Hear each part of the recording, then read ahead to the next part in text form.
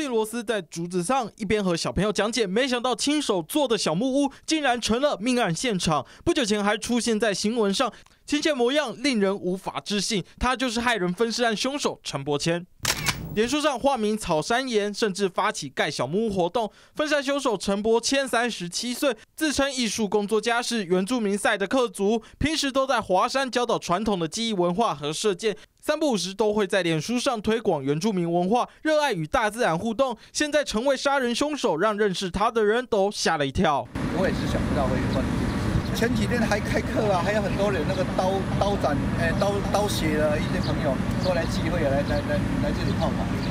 根据了解，陈姓凶险私生活相当混乱，已经有家庭和小孩的他，遭到高雄一名女网友在网络上指控，标出他的脸书名字，说他对亲生骨肉不闻不问，甚至谎话连篇，每一句都是谎言，疑似让人怀孕之后避不见面，又始乱终弃。还让女网友为他产下一子，而陈姓凶嫌明明就已经结婚了，却仍旧拈花惹草。更夸张的是，他杀人之后还若无其事的继续教学，还招揽学员，甚至分享出许多办活动的照片，完全看不出任何异状。手段如此残忍，却又异常冷静，实在令人不寒而栗。借环去台北综合报道。